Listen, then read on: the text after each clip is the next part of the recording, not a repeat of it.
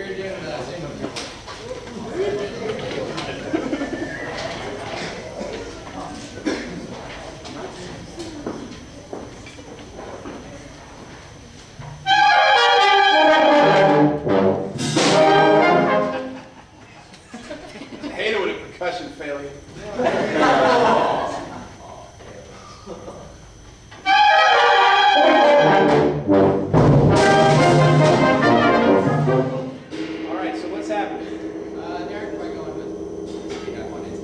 Why aren't they?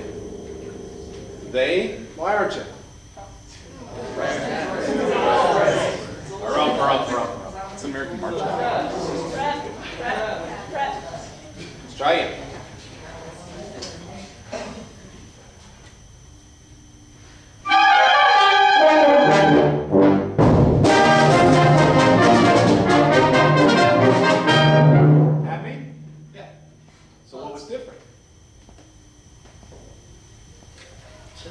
Not really sure. I, I think I'm communicating with him a lot more.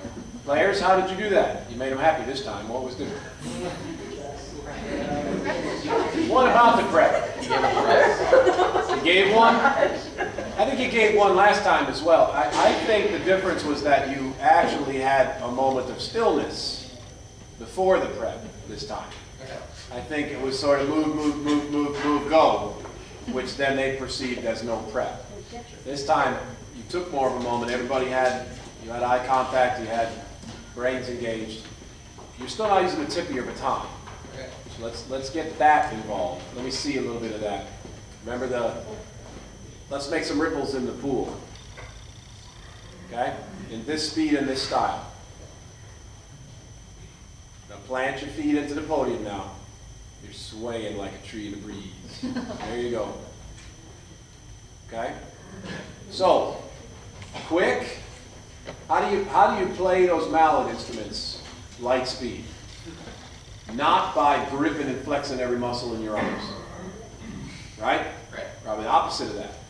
Use this here. You, you look to me like you're, you're muscling this speed. And of course, that wouldn't work on your instrument. On your instrument. So when in doubt, go to your instrument. Let's see if you can find that wizard on the vibraphone, Jake, and use that person here Okay. to get this speed, okay? Yep. No tension. Still. Prep. Tip of the baton. Raise it up a little bit. A little bit more. There.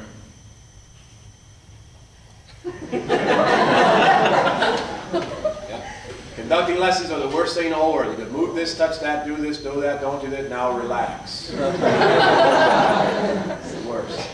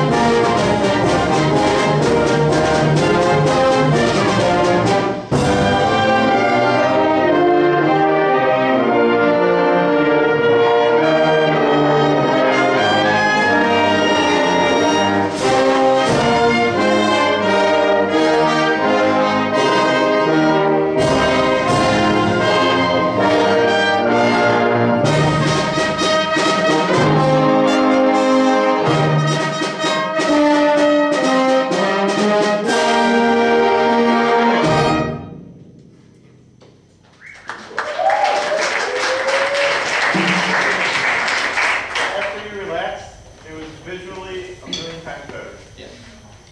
Keep it. Um, I could tell by the way that your hand was shaking that you were really uh, yeah. But you, you, did a, you did a really good job not showing your hand in the face, and you did a good job of eye contact, and I think that helped uh, form the overall Toss the not necessarily nervous, it's, it's, it's excited, it's anxious, Know, it's a lot of things, it's the same thing you're, some of you will feel at audition time and jury time. It's not necessarily just nerves, it's anticipation, it's adrenaline that gets pumped through your veins through all those reasons, for all those reasons. And then that shakiness is a product of that adrenaline. Yes, sir? Yeah, I just like, it's, like, I've got nervous right now, but it's not like scared nervous, it's like excited. Right. Yeah. Yes. But I think after you like stopped a minute and made sure we were focusing on you, I knew what you wanted and I knew where you were going, so it was a lot easier to Tristan?